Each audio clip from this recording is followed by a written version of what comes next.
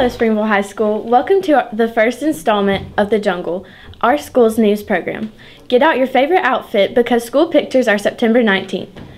You will be called first period to have your pictures made. Be sure to smile. And now that school is in full swing, we had one of our field reporters, Rachel, go out and talk to this year's freshmen to ask them how they enjoyed Springville High School so far. This year, there were 176 freshmen that registered to Springville High School of August 9th, 2017. My favorite teacher is Miss Weston because she's super chill and she like loves everybody. They were scared and a little nervous as they moved from one building to another, but even though it took them some time, they are finally getting adjusted to their schedules, classes, homework, and surroundings. The freshmen here at SHS have more freedom than at the middle school. I'm pretty sure that they like that.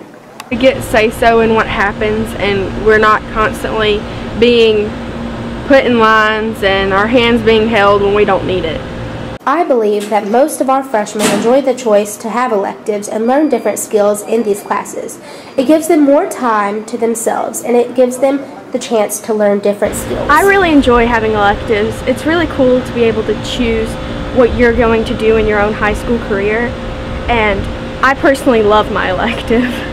We have many different electives that freshmen are allowed to choose from, including Spanish, journalism, photography, agriculture, recreational sports, marching band, musical appreciation with Mr. Wallace, and many more.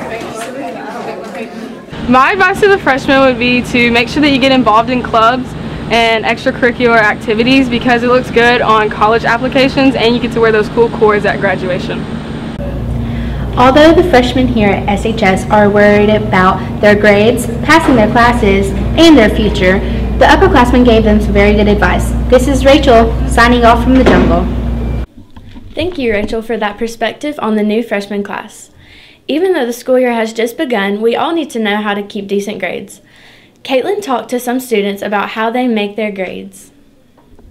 For many high school students, especially new freshmen, high school courses are challenging and juggling the new social and academic demands can be overwhelming.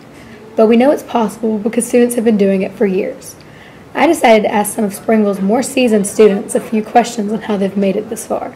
My personal key to success would be organization and staying focused. I think just realizing the significance of subjects is probably the most important thing to learning to enjoy them and use them properly. Also, I know we've all heard about being organized, but how important is organization to being successful and why? I will say personally, it's not for me. I'm horribly unorganized. But I think if you um, if you're the type of person who does like uh, forget things very easily, you know, it's not like it's a bad thing. Lots of people are just kind of forgetful.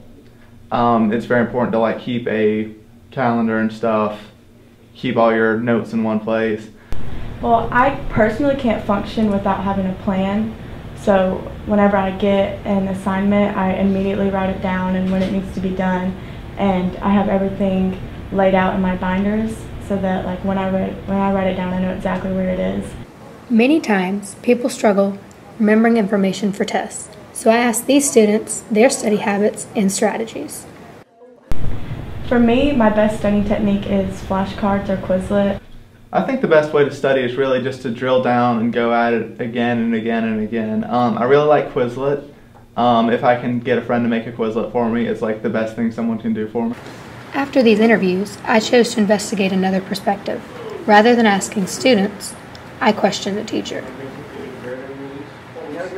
I would have to say the key to being a successful student is to stay organized. Stay on top of what's going on in class. Be sure that if you're going to be out, to make sure that you let the teacher know and communicate with the teacher.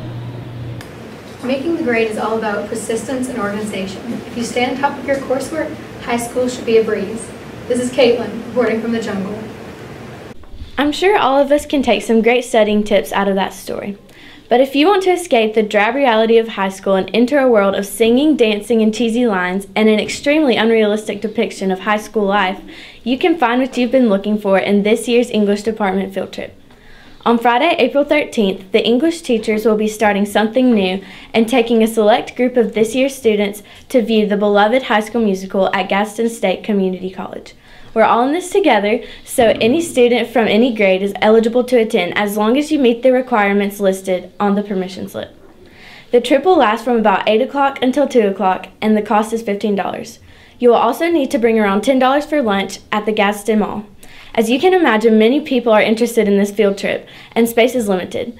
Get your head in the game and talk to your English teacher today about receiving a permission slip and get your money turned in to bop to the top of the waiting list.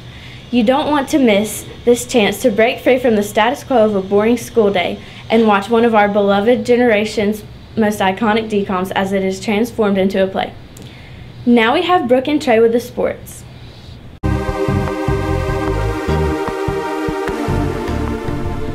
Thanks, Sydney. Now, Brooke, how's the volleyball team doing this season? Well, I have some footage from the games. Let's check it out.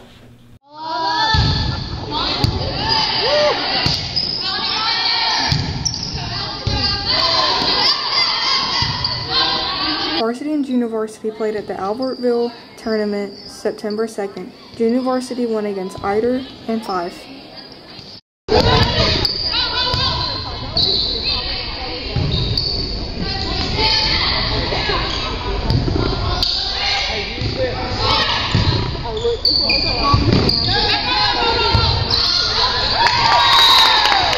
Now that we've seen some volleyball, why don't you tell us how the football season started out? Well, let's take a look. Here we have Ross Stanford kicking off the season for the Tigers. For the first quarter, Springville had every answer to Moody's offense.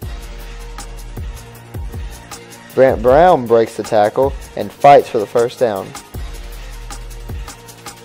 Bootsy with a stellar punt followed up by Nathan Harbuck with a smackdown hit.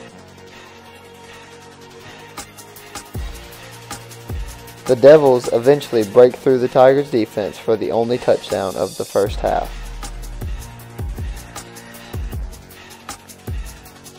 Moody's muffed punt set Springville up in the red zone early in the third quarter.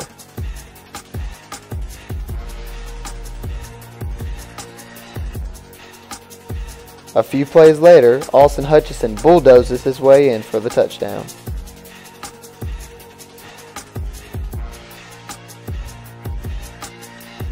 Jordan McClellan sheds a block and causes a fumble which Moody recovered.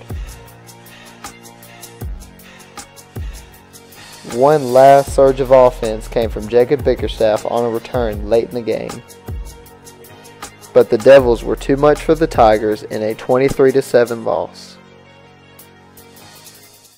The volleyball team plays at home on the 7th and 11th, so come out and support your team. And the football team is at Mortimer Jordan this Friday. It would be great if all of you would come out and support the Tigers.